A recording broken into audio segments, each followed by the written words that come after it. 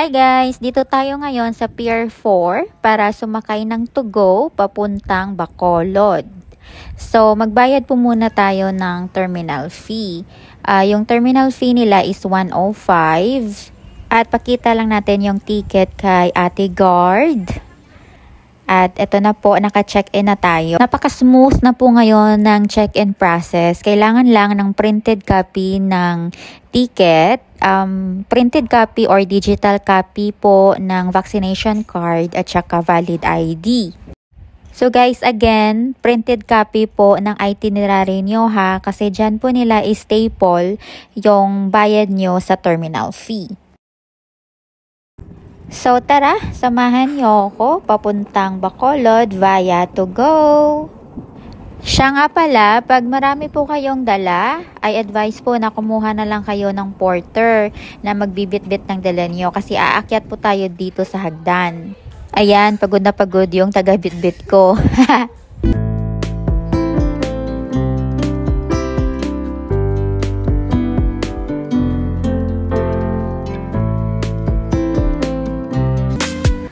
At ito na nga yung entrance nila guys. O ba diba? Ang ganda. Parang nasa cruise ship ka talaga.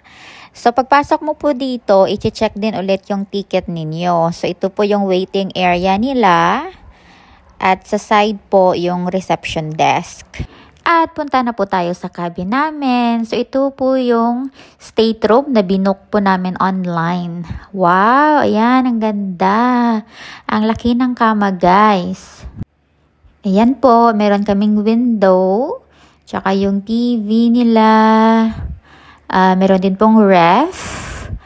At uh, tingnan po natin yung bathroom. Ayan po, malaki rin yung cabinet nila. At of course, yung life jacket.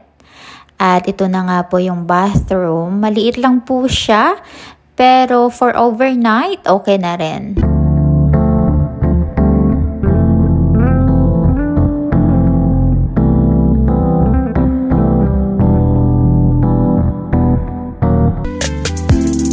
At tara, tignan po natin yung window. Buksan na natin guys. Wow, ayan po, nasa forward po talaga kami. At papakita ko po sa inyo yung different kinds of accommodation nila. So, ito nga po yung mega value. Ito po, sama-sama kayo dito. So, empty pa po yung room na to nung dumating kami. Ito naman yung super value, tourist class which is good for 4. At each side of the ship, meron po siyang charging station. At ito po yung Island Fiesta. So, dito po yung kainan nila. So, yung ticket po dito is may kasama na po siyang meal. So, meron po siyang breakfast, lunch, dinner, at kung ayaw nyo naman ng food, nagbebenta rin po sila ng different kind of a meal dito.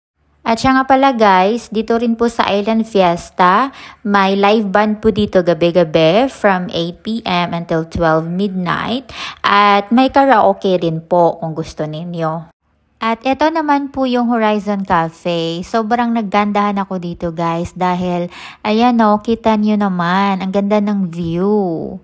At dito po pala yung dining area kung naka-state room po kayo, cabin room, tsaka suite room. At ito po yung breakfast namin.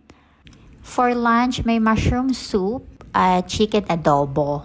At nakalimutan ko palang videohan yung dinner namin. At ito yung Quick Mart. So, kompleto naman po sila dito from toiletries, drinks, beers, mga chicherya. At ito po yung salon. So, they offer mani-pedi, haircut, hair treatments, massage, at facial. At ito po pala yung prices guys. Online po ito sa togotravel.com. Exclusive po ito ng tax ha. And this is what we paid online with taxes po. So guys, kung hindi naman po kayo nagmamadali at gusto nyo pong ma-experience to cruise locally, so I highly recommended po mag-to-go na rin kayo.